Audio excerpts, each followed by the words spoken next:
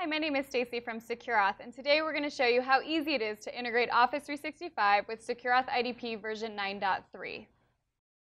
By clicking over here to Application Manager, we can see a list of already integrated applications.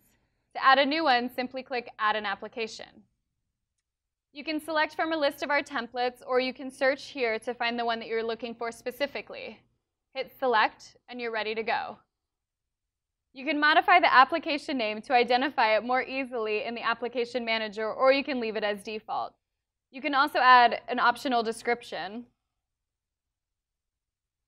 And then you'll select the data store that you just integrated.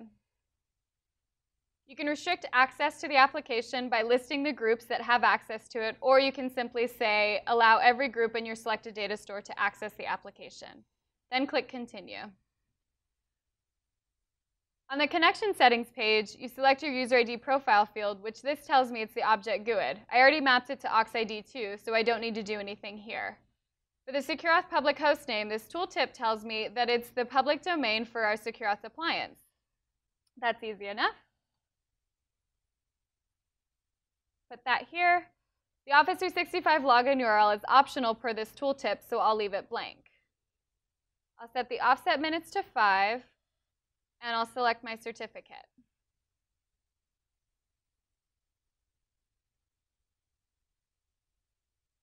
I am not using a legacy Office 365 environment, but if I was, I would just click Enable Endpoints.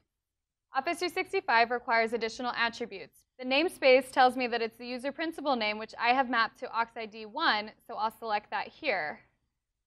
The immutable ID is the object GUID, which I have mapped to AuxID 2. That's all I have to do. Now I'm ready to add my application. Now that it's added, I have this information for service providers page here, which gives me any of the URLs that I may need. This also includes a PowerShell script, which is used on the Office 365 configuration side for federation. I can simply copy to clipboard, and I have all the URLs provided here. By clicking Continue to Summary, this has a full list of everything that is associated to my Office 365 integration. It includes the data stores that are mapped, any group restrictions that I have. I can access this info for service providers page at any time, and also the out-of-the-box workflow two-factor methods and adaptive authentication methods that are enabled.